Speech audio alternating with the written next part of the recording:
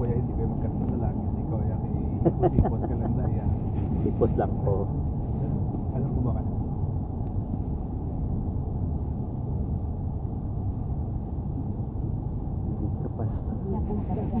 Kung amo niya bi mo nga ginabiyahe.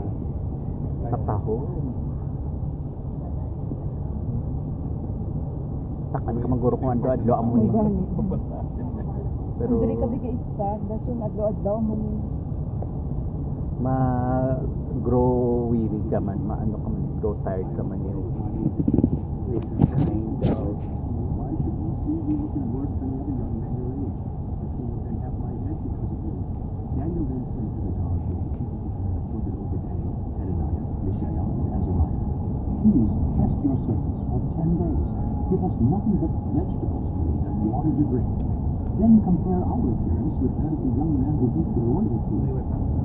keep their servants in accordance with the they So he agreed to this and tested